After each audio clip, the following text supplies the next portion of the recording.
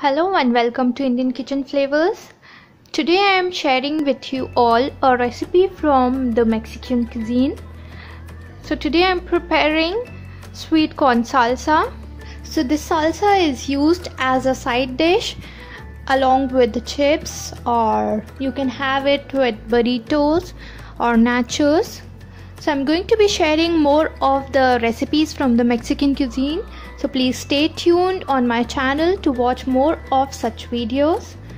For all those who haven't subscribed to my channel yet, please do subscribe and hit the bell icon to get notified of my new videos coming up every week. Now let's start and have a look at the ingredients required. So here I have some sweet corns which I have boiled and kept, some finely chopped onions, little bit of sugar, some salt, little bit of crushed black pepper, some lemon or lime juice, some chilies that I've minced, some fresh coriander leaves which I have chopped. So now we'll start preparing the salsa. So here I have a bowl for mixing. First of all I'm going to add in the sweet corns.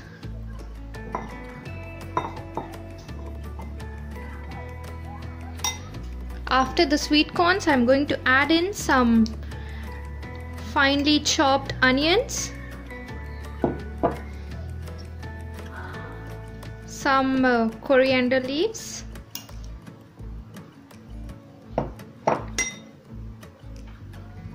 Next, I'm adding in the green chilies. Next goes in some lemon juice.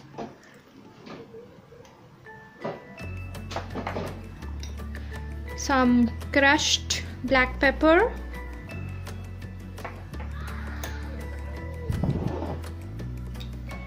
Salt to taste. And around 1 4 teaspoon of sugar. Now mix everything together